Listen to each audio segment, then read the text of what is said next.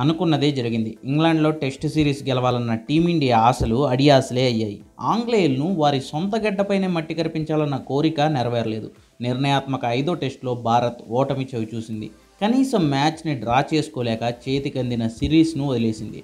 ఎడ్జ్బాస్టన్లో మూడు వందల డెబ్బై ఎనిమిది పరుగుల టార్గెట్ను స్టోక్స్ సేన అలవోకగా ఛేదించింది. మరో ఏడు వికెట్లు ఉండగానే గెలుపు తలుపు తట్టింది. ఐదు టెస్టుల సిరీస్ను రెండు రెండుతో ముగించింది భారత్.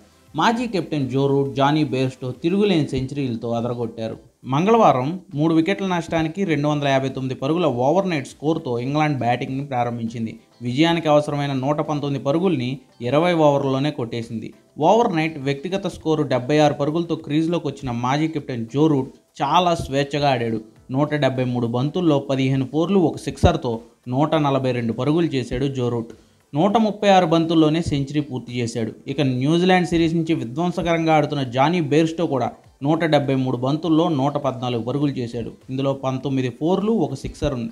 రెండో ఇన్నింగ్స్లోనూ శతకం అందుకున్నాడు జానీ బేర్స్టో. వీరిద్దరూ నాలుగో వికెట్కు మూడు వందల పదహారు బంతుల్లో రెండు వందల అరవై తొమ్మిది పరుగుల అజేయ భాగస్వామ్యం నెలకొల్పారు. టీమిండియా బౌలర్లు వికెట్లు తీయలేక ఇబ్బంది పడ్డారు. ఎడ్జ్బాస్టన్ ఆంగ్లేయులకు కంచుకోట. ఇప్పటివరకు అక్కడ వారికి ఓటమే లేదు.